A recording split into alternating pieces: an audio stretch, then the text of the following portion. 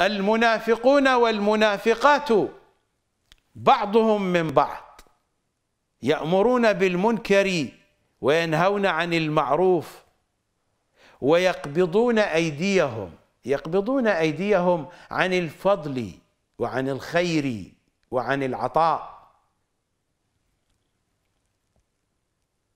نسوا الله فنسيهم. إن المنافقين هم الفاسقون.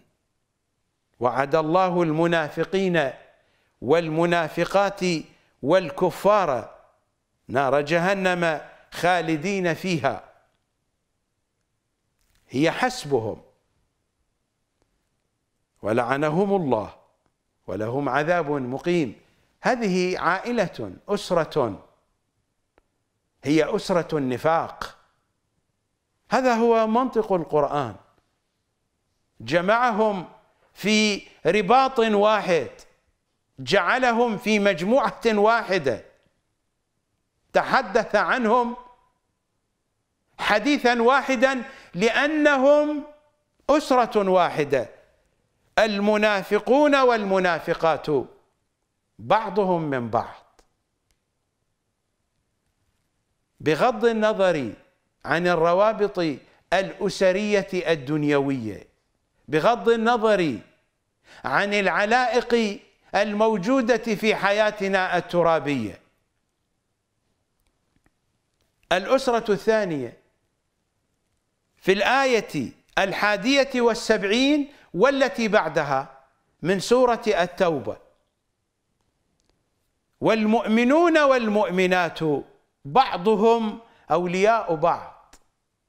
التعبير دقيق جدا. المنافقون والمنافقات بعضهم من بعض. ليس لهم من ولاية أو إمامة.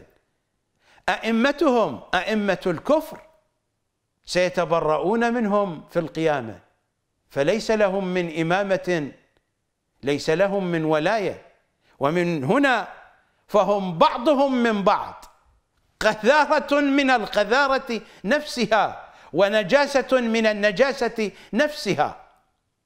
المؤمنون والمؤمنات بينهم رباط ولاية ولاية أئمتهم. التعبير دقيق جدا. المنافقون والمنافقات بعضهم من بعض ليس لهم من إمام. والمؤمنون والمؤمنات بعضهم أولياء بعض. الرابط فيما بينهم ولاية إمامهم. والمؤمنون والمؤمنات بعضهم أولياء بعض. هذا هو الرابط الأسري والحسين يتحدث عن هذا الرابط حين يقول ألا وإني زاحف بهذه الأسرة؟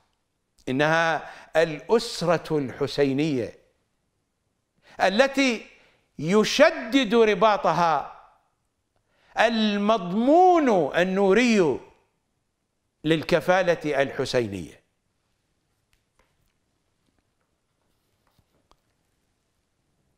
والمؤمنون والمؤمنات بعضهم أولياء بعض. ماذا يفعلون؟ يأمرون بالمعروف. أعظم المعروف معرفة إمام زماننا. خدمته التمهيد لمشروعه العظيم. يأمرون بالمعروف وينهون عن المنكر. وأشد المنكر وأقبحه جهلنا بإمام زماننا جاهليتنا بمعرفته. أن نوالي أعداءه وأن نعادي أولياءه. هذا هو أقبح المنكر.